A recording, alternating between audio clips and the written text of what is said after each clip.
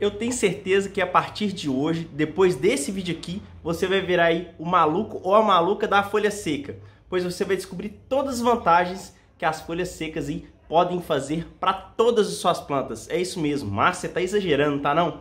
Com certeza não. E eu vou ensinar aqui como que você pode utilizar isso aqui de diversas formas que vão trazer resultados incríveis, tanto em relação ao desenvolvimento, beleza e até floração das plantas também. Será que pode isso? Pois é, pessoal, a gente está no inverno agora, as plantas começam aí a retirar essas folhas, começam a ficar um pouquinho mais peladinhas aí, e você pode reaproveitar isso aqui para fazer um composto maravilhoso para suas plantas. Márcio, eu moro em apartamento e não tem folha seca aqui no meu apartamento. Você pode pegar em praças, pode pegar em parques aí, que não tem problema. E ela tem um papel fundamental no solo das suas plantas. Muita gente fala assim, Márcio, o que é terra preta? Hoje também eu vou falar a respeito de como que funciona aí esse processo biológico no solo para produzir terras de qualidade. Então, pessoal, chega de enrolação e vamos para o passo a passo. Uma coisa muito importante, pessoal, é que as folhas secas, elas são riquíssimas em carbono. Praticamente 50% da composição das folhas secas aí vai ser carbono, vai ter um pouco de potássio, um pouquinho de magnésio, um pouquinho de cálcio, e ela vai ser fundamental para o condicionamento do seu solo, que eu vou explicar para vocês aí daqui a pouco. Quanto mais firme for a folha, pessoal, maior aí a riqueza dela de carbono. E esse tipo de adubação que eu vou ensinar aqui para vocês, você pode fazer com outros tipos de adubo também, usar ao mesmo tempo que um, com esse adubo aqui que eu vou ensinar para vocês. O processo é muito simples. O que eu vou fazer? Eu vou começar aí a juntar as folhas secas aí. Pode ser qualquer tipo de folha, tá, pessoal? Não tem de uma distinção. A paragem de grama, não tem problema, tá? Você vai pegar e você vai começar a amassar elas aí. Você pode usar, se você quiser também, auxílio aí, um liquidificador que você tem aí, mais usado aí, mais velhinho. Depois aí de 3 minutos, olha como fica bem picadinho, né? Lembrando que você pode usar aí um liquidificador para te ajudar no processo. Agora vamos para a aplicação. Vou usar no meu pezinho de figo aqui, inclusive ele está aí 100% sem folhas, né? Tá brotando e eu vou mostrar aqui para vocês o processo correto. Lembra que eu falei para vocês a respeito da terra preta? Isso aqui, na verdade, pessoal, é uma mistura aí de componentes orgânicos, né? Matéria orgânica, restos de folhas, restos de animais aí. E também é, calcário, restos de outras rochas aí.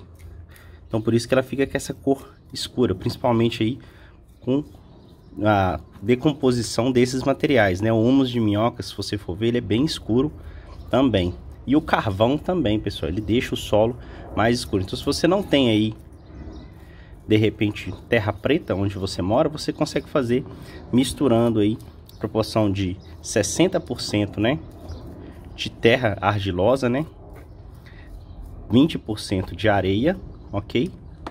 Esterco, ou humus de minhoca e restos de folhas aí também. Como que é o processo? Aqui eu tô com um vasinho de 20 litros, então o que eu vou fazer? Vou pegar uma mão cheia, tá? Vou até encher mais a mão aqui mesmo, ó. E vou salpicar na camada superficial. Lembrando que esse tipo de matéria você tem que usar na camada superficial. Aqui agora eu já posso fazer, revolver esse material aqui para incorporar ele no solo. Márcio, quais vão ser as vantagens que isso aqui vai fazer para minha planta? Pessoal, isso aqui vai causar um efeito tanto químico como estrutural e físico aí no solo da sua planta. Por que, que você está falando isso, Márcio? Esse material aqui ele vai servir como condicionador de solo, portanto, ele vai ser muito importante para a biologia do seu solo, para deixar o seu solo vivo, né? Deixar os micro-organismos do seu solo aí bem alimentados para promover a decomposição de outros materiais. Além disso, vai ser muito importante também fisicamente, pois vai deixar o seu solo mais airado. Dessa forma, as raízes da sua planta vão poder se desenvolver muito mais. Olha, e você deve usar isso aqui nas suas plantas de dois em dois meses para você ter melhores resultados. Acelerar mais ainda esse processo de degradação desses materiais aqui. O que, que eu vou fazendo, pessoal? Eu vou podando, vou varrendo aqui o cantinho de casa e vou acumulando essas folhas aqui nesse balde, nessa lixeira aqui, para depois fazer esse procedimento, pois isso aqui é super importante para as nossas plantinhas. Ó, pessoal, o resultado para as plantas. Olha só como é que elas estão bem desenvolvidas, as cebolinhas, e bem verdinhas. Olha que incrível. Você pode usar esse adubo aí para qualquer planta, pessoal. Olha a babosa aí, como está se desenvolvendo bem. Tá bem verdinha e bem vigorosa. Como eu falei para vocês, aqui no cantinho de casa eu tenho esse balde aqui, ó.